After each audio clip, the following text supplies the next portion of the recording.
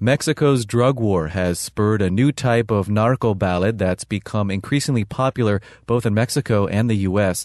The lyrics tell an alternate version of the war on drugs from the point of view of outlaws confronting the Mexican army. FSRN's Mariana Martinez reports.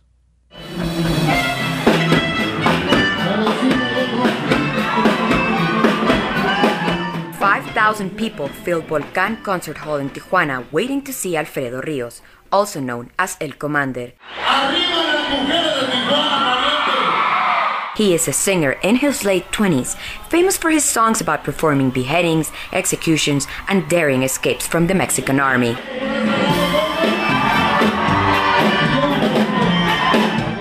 Birthplace, Culiacan, Sinaloa, is widely known as home of the narco ballad, or corrido, and now Komander is the most prominent face of the newest trend of corrido, called Movimiento Alterado, roughly translated as altered state. As he goes on stage, the crowd cheers and makes hand gestures mimicking a gun, firing at someone, putting the gun away, and even calling the boss to say the job has been done.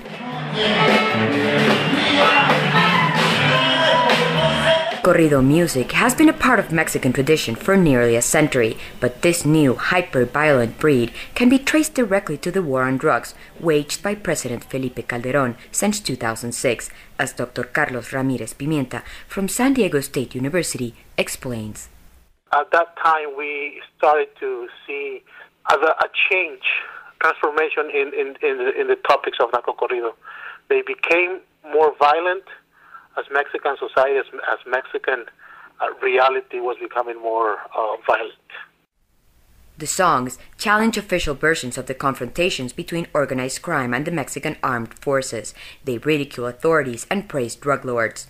Lyrics glorify luxury cars, ultimate fighting, drugs, alcohol, and beautiful women as objects of desire. In many ways, it is similar to gangster rap, as it promotes a certain lifestyle that many condemn.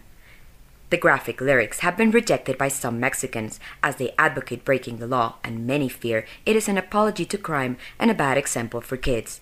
Oscar Zamudio is a taxi driver in Mexico City who likes corridos yet says they have bad consequences. I like them, but they promote violence because of what they say. Now anyone believes they can be narco. In Mexico, the law prohibits the broadcast of narco corridos on the radio or in public transportation. Yet, this is hard to enforce, and taxi drivers like Zamudio say they have never been fined for playing corridos in their cabs.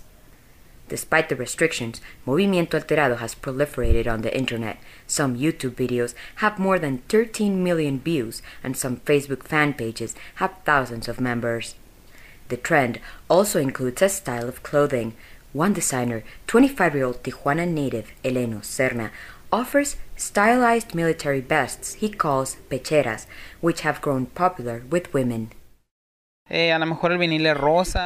We might use pink vinyl, pink and purple crystals. Instead of a skull, we put a revolver with a flower, something feminine, and yet with a touch of violence that defines Antrax clothes.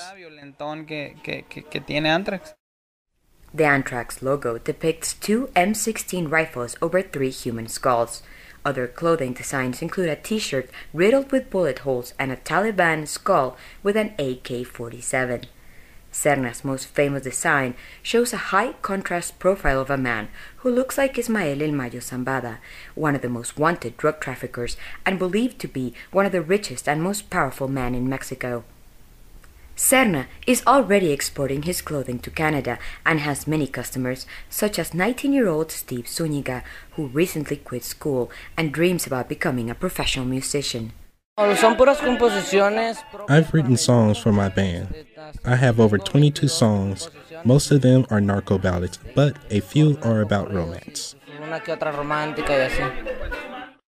The genre popularity expands to many people who aren't involved in the drug trade, including Manuel Marquez, a shy 18 year old with a soft voice who grew up in Chula Vista. In school, before I graduated, all of us talked about it in school, about the new songs, new bands.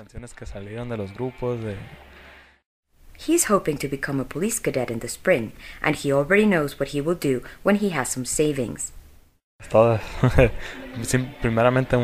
First thing I want is to get an Antrax vest. That has been my goal, to one day buy a vest like that. The vests cost between $500 and $800 each. According to Professor Pimienta, narco ballads have a powerful meaning for kids like Marquez and Zuniga, Mexican Americans, and recent immigrants who are living in the U.S. facing racism, discrimination, police abuse, and limited opportunities. What these uh, songs provide is uh, three minutes of narratives with powerful Mexicans, and, and that could be intoxicated for intoxicating for the Mexican community to have these narratives of Mexicans who are not afraid, Mexicans who are very successful, Mexicans that the, the police, the authorities do not mess with them. For the musicians, many aren't just singing about the drug trade or drug lords. Narco ballad singers are often the target of attacks. Some have been killed or jailed. Clica Los Necios lead singer Rafael Becerra takes a deep breath and a pause when I ask him if and how he asks for permission to sing about drug lords. It is what it is. All the songs we sing are approved. We don't sing something unless it is approved. If it is not, we don't sing it. You have to take precautions, you know? Tiene que tener una precaución, solamente. Sinaloa, canten fuerte, compañeros.